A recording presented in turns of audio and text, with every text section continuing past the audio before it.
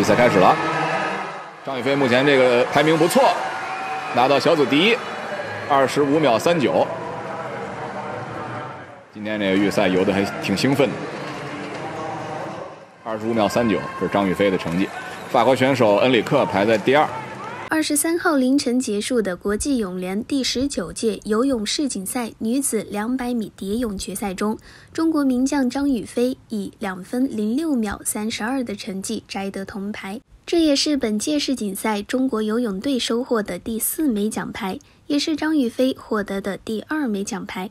在女子两百米蝶泳项目上，张雨霏已将奥运金牌和短池世锦赛金牌收入囊中。距离金牌大满贯，他只差一个长池世锦赛冠军。此次未能实现目标，稍显遗憾。因为我之前的成绩，大家都看着我。刚才外国记者也问我这个问题，他们也在关心我两百米蝶泳现在到底是个什么样的水平。说实话，这一次备战训练不太到位，感到压力很大。张雨霏在本届世锦赛的一百米蝶泳比赛中，也是获得了铜牌。他说：“和东京奥运会时不一样，那时两百米蝶泳我十拿九稳，很有信心。这一次有点患得患失。从一百米蝶泳比赛时就出现了思想斗争，教练不断的开导我，让我放下包袱。一直到今天，我突然释怀了。这可能是每一个冠军走下领奖台后的必经之路。同样也在六月二十三号女子五十米蝶泳预赛，张雨霏出战。”最终，张雨霏的成绩定格在了二十五秒三九，小组第一，所有参加预赛选手的第一名，也创造了个人生涯五十米蝶泳的最佳成绩，晋级到半决赛。恭喜张雨霏！张雨霏五十米蝶泳的最佳成绩是二十五秒六六，是在东京奥运会女子一百米蝶泳的预赛的前半程创造的。这一次，张雨霏的二十五秒三九也创造了个人最佳的成绩。第一名晋级到半决赛，恭喜！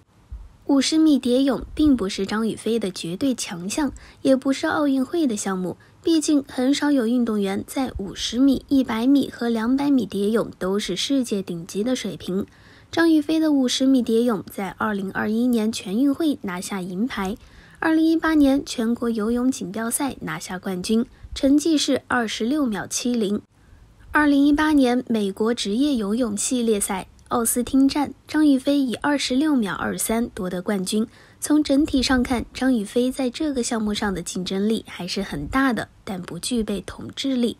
张雨霏目前在本届世锦赛已经比拼了多枪，其中女子一百米和两百米蝶泳都斩获了铜牌，激励项目没有收获，尤其是女子两百米蝶泳痛失冠军，没有实现单项大满贯，对于张雨霏来说是非常遗憾的。在前一百米一直保持领先的情况下，最后一百米被对手反超，获得了铜牌，暂时还没有收获个人在本届世锦赛的第一枚金牌。也期待张雨霏可以在这个单项五十米蝶泳中好运。当然，作为目前中国游泳队的领军人物和绝对的劳模，张雨霏也需要多多休息。希望她接下来可以好运。二十四岁的张雨霏认为自己不可能再像小将那样一直拼，希望以奥运会为周期逐步调整，允许状态下滑，但不代表竞技水平会下降。张雨霏回忆，二零一七年至二零一九年间，自身状态起伏很大，很容易超常发挥，但成绩也不稳定。从二零二二年进入世界第一梯队后，我一直保持世界前列。现在我有经验，知道不断的调整训练，保持稳定，争取让运动生涯更加长久。张雨霏，所有的美好才刚刚开始。我的游泳启蒙老师是妈妈，三岁就开始下水训练了。长大后，我逐渐明白，游泳对我来说不仅是爱好，更是责任。小时候特别不喜欢游泳，但既然被选上了，就要坚持，不要放弃。梦想有一天我也能成为别人的偶像，我要好好努力，希望我也可以为他们撑起一片天。这是二十四岁的泳坛小花，东京奥运会两金两银的得主张雨霏的内心独白。去年举行的东京奥运会上，张雨霏获得了两金两银，这让她成为东京奥运会成绩最好的中国运动员，也刷新了历届奥运会游泳运动员的个人最佳成绩。站上奥运会的最高领奖台，张雨霏感慨万千。她强忍泪水，绽放最灿烂的笑容。以前我说比赛夺冠这么高兴的事情，为什么要哭呢？但当自己真的站到最高领奖台上，国歌放出来的那一刻，眼泪就真的有点控制不住了。正如他此前所说：“让五星红旗飘扬，是我无上的荣耀。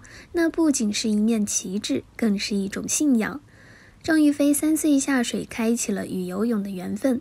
五岁时被送到徐州市游泳队进行正规的训练。七岁后，在江苏省第十七届运动会上初露锋芒，报名的六个项目全部夺得奖牌，收获两金三银一铜。次年，他进入了省队。二零一三年，十五岁的张雨霏进入到了国家队。